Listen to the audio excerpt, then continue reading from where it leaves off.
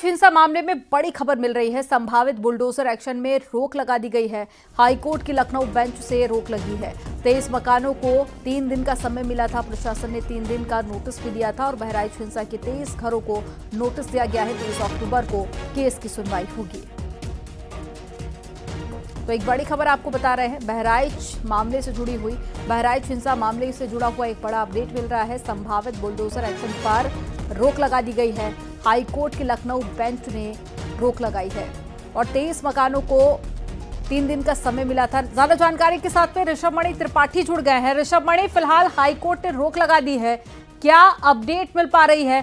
कब तक ये रोक लगाई गई है? देखिए, अब तीन दिन बाद इस मामले में अगली सुनवाई भी होगी और जस्टिस ए आर मसूदी की बेंच में ये याचिका पड़ी हुई थी, जो तेईस परिवार थे जिनको वहाँ पर नोटिस दिया गया था कि जो निर्माण थे उसको, निर्माण को अवैध बताया गया था और इसीलिए उनको अवैध बताते हुए तोड़ने का नोटिस दिया गया था।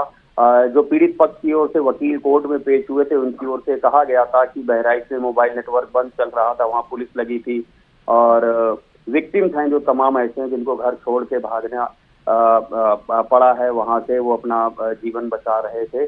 तो इस, वक्त वो प्रोसीडिंग के लिए समय देना चाहिए पीड़ित पक्ष को ताकि वो अपना पक्ष रख सके। उनका पक्ष सुनने के बाद ही कोई फैसला होना चाहिए कोई निर्माण वैध है या अवैध है तो उनको एक समय ज़रूर देना चाहिए। जिसके बाद जस्टिस ए आर मसूदी साहब की जो बेंच है उन्होंने पंद्रह दिन का पूरा समय दिया है कि सब लोग अपना जो रिप्लाई है वो उसमें फ़ाइल कर दें।